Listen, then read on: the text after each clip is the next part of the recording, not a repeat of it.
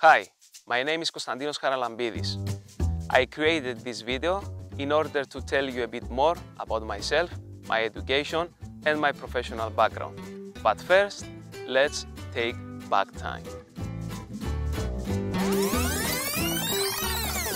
Football was my passion since I was a child.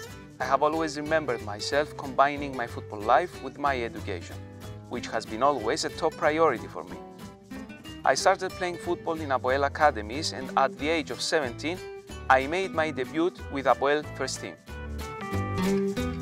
I played in Apoel Nicosia for totally 14 years, succeeding to win 18 trophies and participate in UEFA's group stage competitions.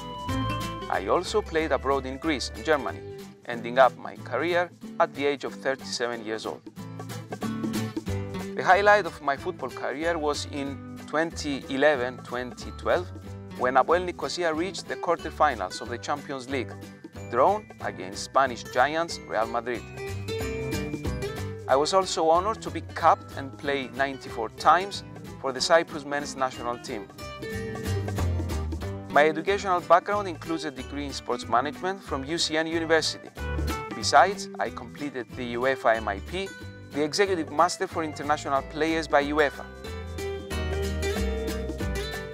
I am also in the process to complete the UEFA Pro license, which is the highest coaching license mandated by UEFA.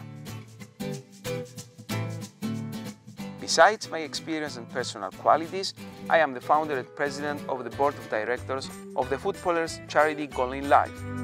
In addition, I have been voted the Fair Play Ambassador for 2018.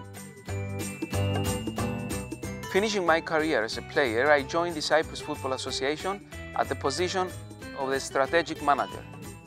In the meantime, I presented the weekly show Ora.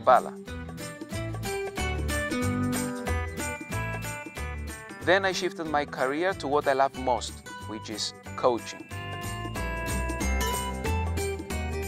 Firstly, I started as an assistant coach of the Cyprus men's national team. Currently, I work as the head coach of the under-17 Cyprus national team. My mission is to coach, develop and inspire young football players in order to become top field winners. And my vision is to spread my football philosophy, transmit my values and make history in the football industry.